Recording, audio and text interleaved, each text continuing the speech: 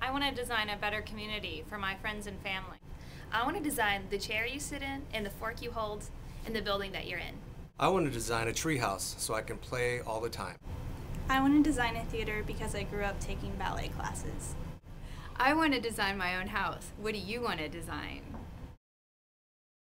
Design is exciting because you get to discover how people interact with their environment.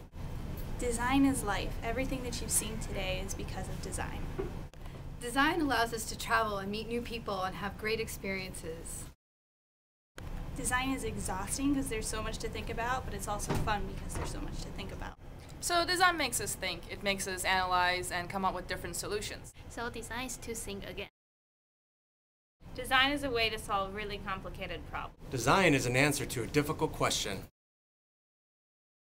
Design is almost any objects that are created and made, even for movies, such as like props, costumes, even like R2D2. Design is what happens when you get your favorite toys, like a new iPhone or a Wii. Design is connection. It's how we interact with everything around us our home, our school, the objects we use every day.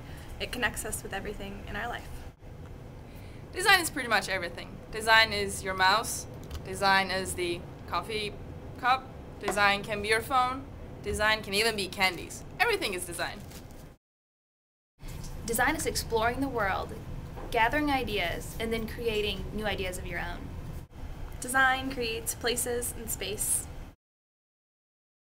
Design is a valuable tool that can solve world problems. Design is very important because we can always rework and redesign our own objects. It causes us to be more creative and more innovative. It enhances our creativity, such as you see this simple object, why not come up with something like this? Or something like this? Design empowers people to learn from their environments and make changes in their communities. I look for opportunities to engage in communities and promote positive change. So design is important because we can learn the mistakes from the past and then propose new ideas for the future.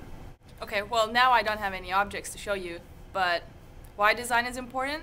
Because design is about you. It's about us and to make everybody's life better.